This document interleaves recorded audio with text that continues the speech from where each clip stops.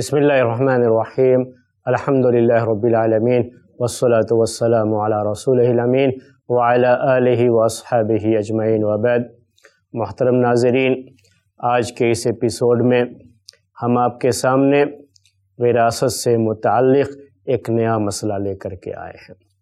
آج ہم آپ کو سب سے پہلے یہ بتائیں گے انشاءاللہ کہ فرائض، جو اس علم فرائض کہلاتا ہے، علم مواریث کہلاتا ہے، علم میراث کہلاتا ہے، جو مختلف ناموں سے ہم اس کو جانتے ہیں، فقہ المواریث اسے کہا جاتا ہے، اس کا مطلب کیا ہے؟ اس پورے علم میں یعنی علم میراث، علم فرائض، علم مواریث یا فقہ المواریث، جو نام بھی ہم دیں، جو کہا جاتا ہے، اس کی جو تعریف کی جاتی ہے، وہ یہی ہے کہ ایک ایسا علم ہے، جس کے ذریعے سے جانا جاتا ہے کہ کون وارث بنے گا، کون وارث نہیں بنے گا، اور کس وارث کو کتنا حصہ ملے گا۔ مرنے والے کے مال میں جسے طریقہ کہا جاتا ہے، کون وارث بنتا ہے، کون وارث نہیں بنتا ہے، اور کس کو کتنا حصہ ملتا ہے۔ اس پورے علم کا نام یہی جو ہے علم فرائض کہلاتا ہے، یہی علم میراث کہلاتا ہے، اسی کو فقہ الموارث کہتے ہیں۔ یہی سارے نام ہیں، ہم جس نام سے بھی پکاریں گے، بہرحال مادہ، بہرحال سبجیکٹ ایک ہی ہوتا ہے۔ وہ سبجیکٹ کیا ہے ہمارا؟ فرائض یعنی مرنے والے کے ترکے میں کن وارثین کا حق ہوتا ہے۔ کن ورثہ کا حق ہوتا ہے، کن رشتہ داروں کا حق ہوتا ہے۔ کن کو حق نہیں ملتا ہے، کیوں نہیں ملتا ہے؟ اور جن کو ملتا ہے، ان کو کتنا ملتا ہے؟ کیسے ان کے درمیان تقسیم کیا جائے؟ اس پورے علم کا نام علم فرائض ہے۔ اب ہم آج کے درس سے آپ کے سامنے کب کس کو کتنا حصہ ملتا ہے، اس کی تفصیلات بیان کریں گے۔ اب یہاں سے درس تھوڑا دلچسپ بھی ہوگا اور سسپنس بھی تھوڑا اس کا بڑھتا جائے گا۔ آپ کی رغبت بھی اور زیادہ بڑھتی جائے گی۔ سب سے پہلے ہم ذکر کریں گے بیوی کے ترکے میں شوہر کا حصہ۔ بیوی کے ترکے میں شوہر کا حصہ۔ اگر انتقال کرنے والی بیوی ہے اور اس کے رشتہ داروں میں اس کا شوہر ہے، جو شوہر تھا، اب تو انتقال ہو گیا ہے، تو وہاں سے رشتہ ختم ہو جاتا ہے، شوہر ہے۔ تو اسی رشتے کے لحاظ سے کہا جاتا ہے، شوہر ہے۔ تو اس وقت شوہر کو کتنا حصہ ملے گا؟ بیوی کے مال میں، بیوی کے چھوڑے ہوئے مال میں، طریقے میں شوہر کا حصہ کتنا بنتا ہے؟ تو ہم نے کہا، شوہر۔ اس شوہر کی دو حالتیں ہوتی ہیں۔ بیوی کے انتقال کے بعد شوہر کی دو حالتیں ہوں گی۔ اصل میں یہ دو حالتیں بیوی کی ہوتی ہیں، لیکن شوہر کو انہی حالتوں کے لحاظ سے حصہ ملتا ہے اس لیے کہا جاتا ہے شوہر کی دو حالتیں۔ پہلی حالت یہ ہے کہ اس بیوی کی کوئی اولاد ہو۔ بیوی کی اولاد ہو۔ بیوی جس کا انتقال ہوا ہے بیوی کی اولاد موجود ہو۔ اولاد ہی کو کہا جاتا ہے بیٹا، بیٹی، پوتا، پوتی، سب اس کے اندر داخل ہیں۔ بیٹی، بیوی کی اولاد موجود ہو۔ یہ پہلی حالت ہے۔ یہ اولاد سے مراد بیٹا، پوتا، بیٹی، پوتی۔ تو بیوی کی دو حالتیں ہیں بیوی کے انتقال کے وقت۔ یا تو اس بیوی کی اولاد ہوگی یا اولاد نہیں ہوگی۔ اگر بیوی کی اولاد ہے، بیٹا ہے یا پوتا ہے، بیٹی ہے یا پوتی ہے، یا کہیے بیٹا بھی ہے، بیٹی بھی ہے، پوتا بھی ہے، پوتی بھی ہے، جو بھی شکل ہو کس کی؟ بیوی کی۔ شوہر کا ہونا کوئی ضروری نہیں ہے۔ ہو سکتا ہے یہ اولاد اسی شوہر سے ہو ہو سکتا ہے کسی اور شوہر سے ہو، لیکن اس کی اپنی اولاد ہے، بیوی کی اولاد ہے۔ دوسری حالت ہوتی ہے کہ بیوی کی اولاد نہ ہو۔ یعنی جب بیوی کا انتقال ہوا تو اس بیوی کی سرے سے کوئی اولاد ہی نہیں، نہ بیٹا ہے، نہ پوتا ہے، نہ بیٹی ہے، نہ پوتی ہے۔ ان سب کو کہا جاتا ہے اولاد۔ کہا جاتا ہے فرع وارث عربی زبان میں، لیکن ہم وہ لفظ استعمال نہیں کر رہے ہیں۔ اولاد کا لفظ اردو میں استعمال کیا جاتا ہے، اسی لفظ کو استعمال کر رہے ہیں۔ اور جانکاری کے لیے لکھ دیا ہے کہ اولاد سے مراد کیا ہے؟ بیٹا بیٹی، پوتا پوتی، بیٹا بیٹی، پوتا پوتی، یہی اس سے مراد ہیں۔ اور اسی کو ذہن میں رکھ کر کے چلنا ہے۔ اگر بیوی کے انتقال کے وقت شوہر جو کہ اس بیوی کا وارث بنتا ہے۔ اگر بیوی کی اولاد ہے تو اس صورت میں شوہر کا حصہ بنتا ہے وہ ہے ون فورتھ۔ یہ ہے ون فورتھ۔ عربی میں کہتے ہیں روبو اردو میں کہتے ہیں ہم اس کو ایک بٹے چار۔ ون فورتھ انگلش میں کہتے ہیں۔ گنتی میں لکھا ہوا ہے، ہر کوئی جانے گا۔ تو شوہر کا حصہ جب بیوی کی اولاد ہوتی ہے تو اس وقت ون فورتھ ایک بٹے چار یعنی چار میں سے ایک حصہ اگر بیوی کی اولاد نہیں ہے، مرنے والی بیوی کی اولاد نہیں ہے، تو شوہر کا حصہ ہاف ہوتا ہے۔ عربی میں ہم نصف کہتے ہیں، اردو میں آدھا کہتے ہیں، انگلش میں ہاف جو ہے۔ پورا جو طریقہ ہے بیوی کا طریقے میں سے آدھا حصہ کس کو چلا جائے گا؟ شوہر کو چلا جائے گا۔ اگر یہ مرنے والے کی اولاد نہیں ہے، بیٹا بیٹی، پوتا پوتی نہیں ہے، تو آدھا حصہ اسی شوہر کو چلا جائے گا۔ اور اگر یہ ہیں بیٹا بیٹی، پوتا پوتی، جو بھی جو ہے، اس میں سے کوئی بھی ایک اگر ہے، تو اس صورت میں ون فورتھ جاتا ہے۔ دونوں کا دیکھیں گے تو یہ آدھا ہو جاتا ہے، بالکل۔ یہاں پر اس کو آدھا مل جاتا ہے، یہاں پر ون فورتھ مل جاتا ہے۔ تو دونوں صورتوں میں شوہر کو حصہ ملتا ہے۔ اسی لیے کہا جاتا ہے، یاد رکھنے کی چیز۔ کہتے ہیں پوائنٹ ٹو بی ریممبر یاد کرنے کی چیز کیا ہے؟ کہ شوہر کو ہر حال میں حصہ ملتا ہے۔ اگر وہ اپنی بیوی کا قاتل نہیں ہے، اور دونوں کا مذہب الگ الگ نہیں ہے، کیونکہ نصرانی عورت سے بھی شادی کرنا جائز ہے۔ تو اس لحاظ سے کہہ رہا ہوں کہ مذہب الگ الگ نہیں ہے، مذہب ایک ہے اور اس کا قاتل نہیں ہے۔ تو ایسی صورت میں شوہر کو بیوی کے مال سے حصہ ملنا ضروری ہے، چاہے آدھا ملے یا ون فورتھ ملے۔ اگر بیوی کی اولاد نہیں ہے تو آدھا ملتا ہے، بیوی کی اولاد ہے تو کتنا ملتا ہے؟ ون فورتھ ملتا ہے۔ یہی ہے پوائنٹ جو کہ یاد رکھنے کا ہے۔ پوائنٹ یاد رکھنا ہے۔ کیا یاد رکھنا ہے؟ شوہر ہمیشہ کے لیے مکمل طریقے سے محروم نہیں ہوتا ہے۔ اس کی دو ہی شکلیں ہوتی ہیں۔ یا تو ون فورتھ پائے گا یا آدھا پائے گا۔ کبھی بھی مکمل طریقے سے اس کو باہر کا راستہ نہیں دکھایا جاتا ہے۔ یہ آیا ہے، اس کی انٹری ہے طریقے میں، تو انٹری ہے۔ بس یہ دیکھنا رہتا ہے کہ آدھا ملے گا یا ون فورتھ ملے گا۔ آدھا کب ملتا ہے؟ جب بیوی کی اولاد نہ ہو۔ ون فورتھ ملتا ہے جب بیوی کی اولاد ہو۔ اس کے بعد ہم اسی کو تھوڑی سی تبدیلی کے ساتھ شوہر کے طریقے میں بیوی کا حصہ۔ اب کیا بنا دیتے ہیں؟ شوہر کے طریقے میں بیوی کا حصہ۔ اور ہم یہاں لکھ دیتے ہیں بیوی، دونوں کا مسئلہ ایک ساتھ حاصل کر لیں گے۔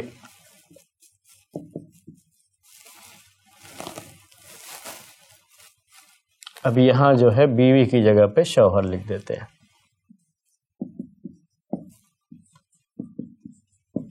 شوہر یہ ہسبینڈ ہوا، بیوی یہ وائف جو لوگ جو ہے انگلش جانتے ہیں ان کے لیے۔ اب یہ شوہر کے طریقے میں بیوی کا حصہ۔ انتقال کرنے والا کون ہے؟ شوہر ہے۔ اب شوہر کے انتقال کے بعد اس کی بیوی کو اس کے مال میں سے کتنا حصہ ملتا ہے، وہ آپ کے سامنے پیش کر رہے ہیں۔ اب دیکھیے، پہلے ہم نے کہا تھا کہ شوہر کی دو حالتیں، ابھی بیوی کی دو حالتیں ہیں۔ پہلی حالت کیا ہوگی؟ شوہر کی اولاد موجود ہو۔ یہاں پر بھی ہم نے کہا کہ شوہر کی اولاد ہونا ضروری ہے اسی بیوی سے ہو کوئی ضروری نہیں ہے۔ کسی اور بیوی سے بھی یہ شوہر کی اولاد ہو سکتی ہے۔ یہ اولاد کیا ہے؟ بیٹا، بیٹی، پوتا، پوتی۔ یہی اولاد کا مطلب ہے۔ دوسری یہ ہے کہ شوہر کی اولاد نہ ہو۔ تو شوہر کے طریقے میں بیوی کا حصہ کیسے بنتا ہے؟ اگر شوہر کی اولاد ہو، یہاں کیا لکھا ہے؟ اولاد ہو۔ تو اس وقت بیوی کو ون ایٹ ملتا ہے۔ یعنی آٹھ میں سے ایک حصہ۔ ون ایٹ یعنی آٹھ میں سے ایک حصہ۔ اگر شوہر کی اولاد نہ ہو تو بیوی کو ون فورتھ ملتا ہے۔ یعنی چار میں سے ایک حصہ۔ بہت سمپل ہے، بہت آسان ہے۔ تو بیوی کا معاملہ بھی یہی ہے۔ شوہر کے مال میں سے بیوی کو حصہ ملنا ہی ملنا ہے۔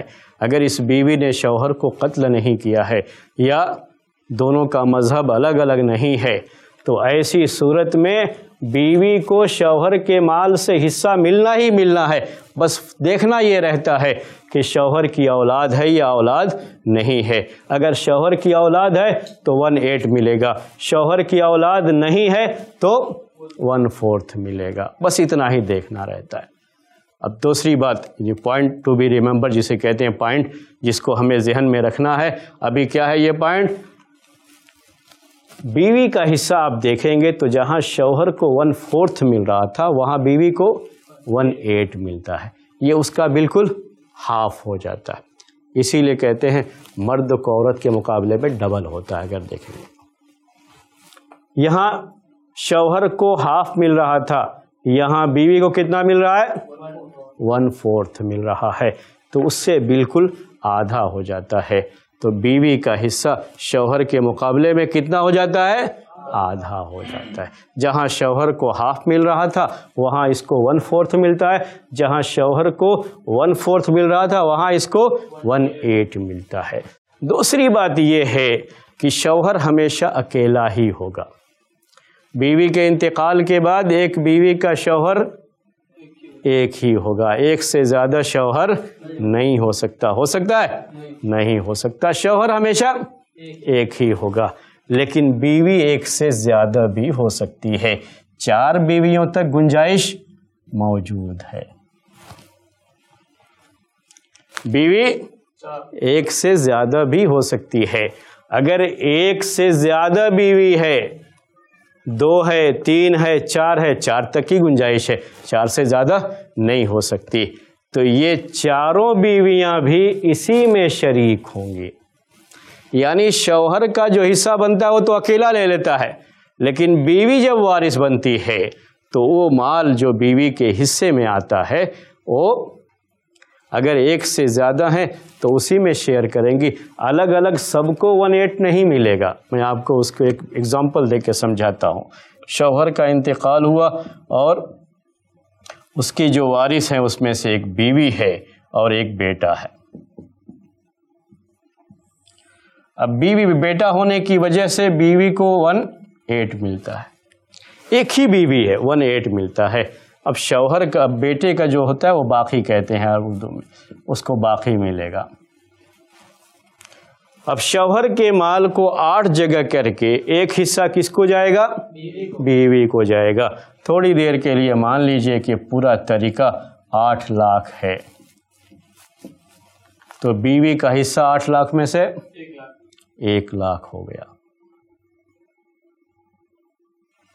باقی سات لاکھ بیٹے کا ہوا۔ اب اگر ایک سے زیادہ بیوی ہے، ہم یہاں فرض کر لیتے ہیں دو بیوی ہے۔ اور بیٹا۔ دو بیوی کا بھی حصہ وہی رہے گا۔ کتنا؟ ون ایٹ باقی مال بیٹے کو جائے گا۔ اب طریقہ آٹھ لاکھ ہے تو بیوی کا حصہ بنتا ہے اس میں سے ایک لاکھ۔ اب یہاں یہ ایک لاکھ دو لاکھ نہیں ہو جائے گا کہ دو بیوی ہے تو دو لاکھ ہو گیا، نہیں۔ اب اس ایک لاکھ میں سے ہر بیوی کو پچاس پچاس ہزار ملے گا یعنی اسی ایک لاکھ کو دو بیویوں میں تقسیم کر دیں گے۔ دونوں کا حصہ کتنا بنے گا؟ پچاس پچاس ہزار بنے گا۔ اگر تین ہے تو اسی لحاظ سے اب چار بیوی مان لیجیے تو ہر ایک کے حصے میں صرف کتنا آیا؟ پچیس ہزار۔ اسی ایک لاکھ کو ہم چار جگہ پھر تقسیم کریں گے۔ دو بیوی ہے تو اسی ایک لاکھ کو دو جگہ تقسیم کریں گے۔ تین بیوی ہے، اسی ایک لاکھ کو تین جگہ۔ بیویوں کا یہ حصہ ہے، چاہے ایک بیوی ہو، چاہے ایک سے زیادہ بیوی ہو، ان کا حصہ یہی بنتا ہے اور یہی اس کی ترتیب ہے۔ ہمیں کیا چیز یاد رکھنا ہے؟ اگر بیوی کا انتقال ہوا ہے تو شوہر ہمیشہ ایک ہی ہوگا، ایک سے زیادہ نہیں ہو سکتا۔ اگر اس بیوی کی اولاد ہے تو شوہر کا حصہ ون فورتھ ہوتا ہے۔ اگر اولاد نہیں ہے تو شوہر کا حصہ ہاف ہوتا ہے۔ اور اگر شوہر کا انتقال ہوا ہے تو بیوی ایک ہو یا ایک سے زیادہ شوہر کے مال میں اگر شوہر کی اولاد ہے تو اس کو ون ایٹ ملتا ہے، شوہر کی اولاد نہیں ہے تو اس کو ون فورتھ ملتا ہے۔ یہ ہے پوائنٹ جو کہ ہمیشہ کیا رکھنا ہے آپ کو؟ یاد رکھنا ہے۔ یہی شوہر اور بیوی کا مسئلہ ہوتا ہے۔ اس کے علاوہ شوہر اور بیوی کا کوئی مسئلہ نہیں ہوتا۔ اگر مسئلہ ہو سکتا ہے تو یہ کہ بیوی نے ہی شوہر کو قتل کر دیا۔ ثابت ہو گیا کہ بیوی ہی اس کی قاتلہ ہے، تو اس بیوی کو حصہ ہی نہیں ملتا۔ ہے دونوں کا مذہب الگ ہو گیا، تو حصہ نہیں ملے گا۔ لیکن اگر وہ صحیح ہے، دین بھی ایک ہی ہے، اس نے قتل نہیں کیا ہے، تو بہرحال بیوی کو حصہ ملتا ہے، شوہر کو حصہ ملتا ہے۔ ہمیشہ یہ بات رہتی ہے۔ تو ہم نے اب تک کیا سیکھا ہے؟ شوہر کے مال میں بیوی کا حصہ۔ بیوی کے مال میں، بیوی کے ترکے میں شوہر کا حصہ۔ بڑی آسانی کے ساتھ ہمیں یہ بات سمجھ میں آ گئی ہے۔ اب ہم آگے بڑھیں گے۔ اب اس کے بعد باپ کے مال میں بیٹی کا حصہ۔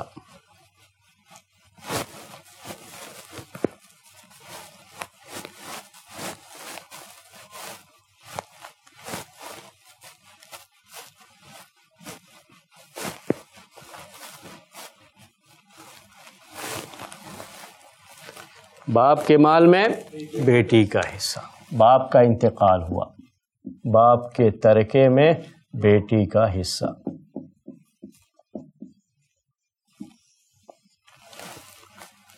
یہ بیٹی، اس کی تین حالتیں ہوتی ہیں۔ یہ بیٹی کی ہی حالتیں اس کے پہلے شوہر اور جو ہے بیوی کا مسئلہ تھا اصل میں، وہ بیوی کی یا شوہر کی حالتیں نہیں ہوتی۔ بیٹی کی تین حالتیں ہیں۔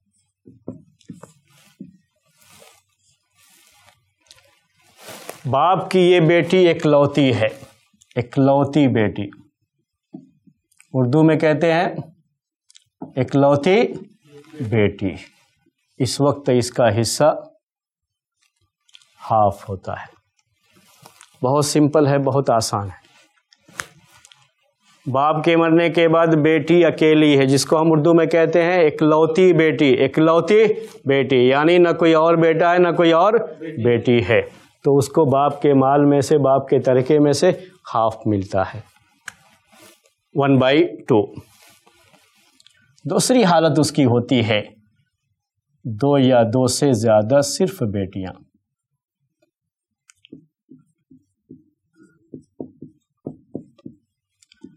صرف بیٹیاں۔ مرنے والے کی صرف بیٹیاں ہیں، بیٹا نہیں ہے۔ بیٹا نہیں، ایسا ہی ہوتا ہے۔ مرنے والے کی یا تو صرف بیٹی ہوتی ہے یا بیٹا ہوتا ہے، صرف بیٹا ہوتا ہے یا بیٹا اور بیٹی دونوں ہوتے ہیں۔ تو پہلی حالت کیا تھی بیٹی کی کہ بیٹی یہ اکلوتی ہے، کوئی نہ اس کا بھائی، نہ کوئی اس کی بہن۔ اکلوتی ہے یہ۔